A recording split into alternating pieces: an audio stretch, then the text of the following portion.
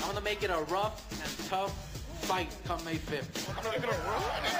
I'm so scared. Hi, my name Oscar De La Hoya. I'm gonna do this. I'm gonna. You ain't gonna do shit. He want to say things I say. He want to get on get on camera and say shit, fuck, damn. He got to keep up his fake image. I'm real, man.